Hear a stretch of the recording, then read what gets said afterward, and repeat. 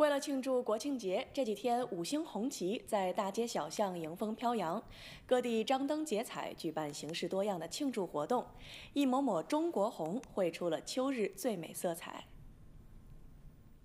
国庆假期临近，山东青岛开启了福山湾畔主题灯光秀，以海为台，以天为幕，以城为景，京剧脸谱、琵琶、荷花、高铁、航天员等元素交替浮现。在和平鸽飞翔、烟火绽放、五星闪耀的背景中，热烈庆祝中华人民共和国成立七十五周年的大字徐徐铺开，气势恢宏、璀璨夺目。在河南商丘，大街小巷被国旗和鲜花装扮得格外亮丽，为城市增添了浓浓的节日氛围。在商丘一所学校内，千余名学生组成方阵，用手中的国旗摆出了“强国有我”“七十五”等字样。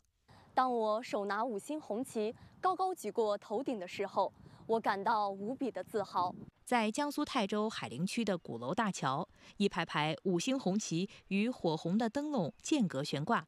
在廊桥飞檐的映衬下熠熠生辉。一些道路两边的灯杆和店铺门前也挂上了五星红旗，一抹抹鲜艳的红色随风而动，非常有节日的氛围。希望我们的日子红红火火。